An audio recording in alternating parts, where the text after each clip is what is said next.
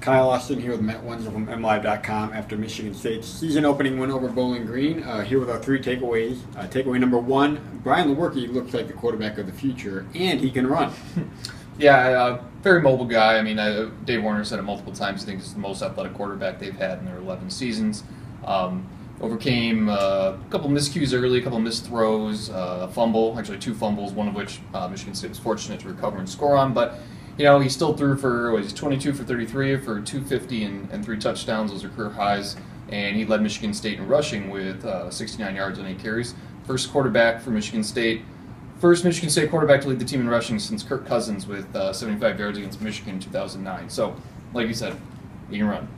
I think he's gonna be fun to watch too. Uh, he, he's a risk taker. Um, sometimes it's gonna blow up in his face. Sometimes it's gonna be it's gonna be good. Like today, that little Brett Favre flick that he had. Um, it, it's gonna be fun to watch. Um, um, risk reward is gonna be high, but um, it will be entertaining one way or the other. Uh, takeaway number two: uh, take fumbles and turnovers is still a problem for this team after last year.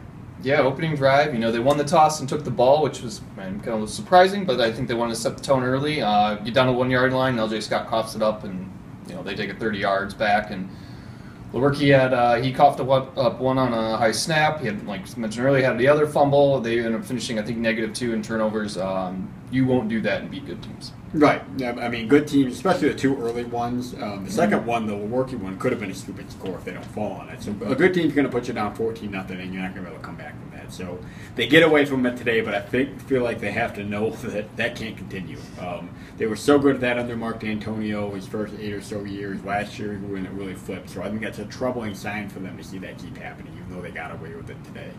Um, takeaway number three. Uh, nine freshmen played, uh, tying a season record um, for them, and they did it in one game. Um, well, why are they all of a sudden playing so many freshmen the last couple of years?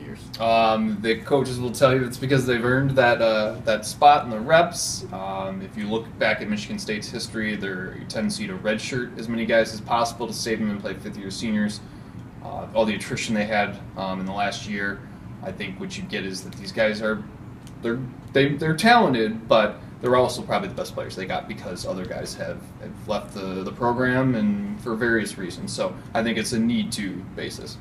Yeah, um, I I don't think they have much of a choice, but I think it means going away from kind of that blueprint that they had all the success Mm-hmm. under, which is redshirting every guy that you can and really relying on fifth year seniors, guys that don't make many mistakes. Um, they're kind of having to get away from that, um, like you said, for reasons that are beyond their control.